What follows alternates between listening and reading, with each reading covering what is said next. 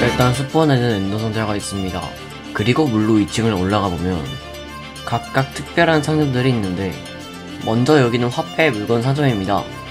여기는 화폐 상점, 후원 상점 1, 후원 상점 2 등이 있겠고요. 이렇게 또 야생을 하다가 슬래시 spawn을 치면 spawn으로 맞습니다. 그 외에도 TPA 기능이나 set home 기능이 있는데 극도로 생야생을 싫어하는 분들이나 반야생을 좋아하는데 할 서버가 없다 또는 고인물이 너무 많아서 힘들다 라고 생각하시는 분들에게 추천합니다.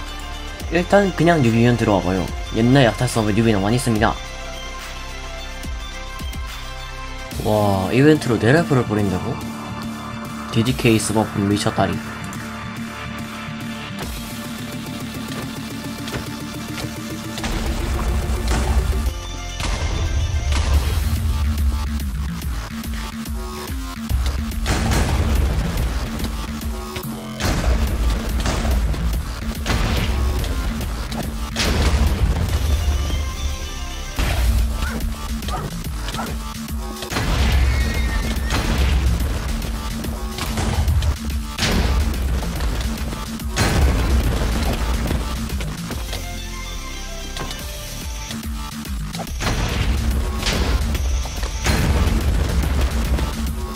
고인물이 없는 서버 그리고 뉴비도 쉽게 네레프리 될 수 있는 서버 DDK 서버. 지금 접속하세요